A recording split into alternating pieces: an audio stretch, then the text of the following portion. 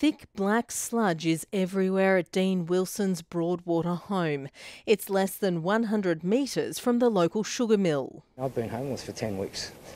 I've been put up, you know, in decent accommodation, so I'm not complaining about that, but I'm not home.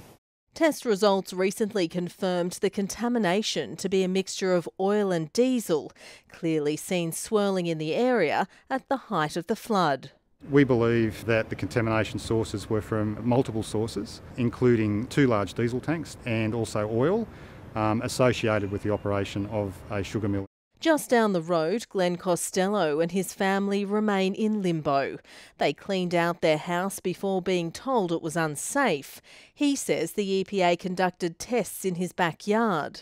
They should really have done under the house because if these fumes are going to be there or these toxins are going to be there, for 30 years, as they say in the report, it, it's uh, not a good not a good thing.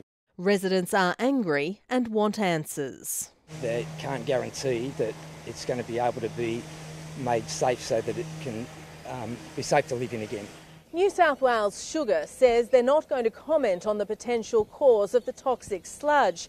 They're already dealing with a $40 million repair bill from the floods that have severely damaged their three mills. Part of our inquiries will be establishing whether the controls that were in place met the required standards of a one in a hundred year flood, and my understanding is that uh, this flood far exceeded the one in a hundred year flood level, uh, you know, to a, to a great degree. I'd like to know um, who's responsible.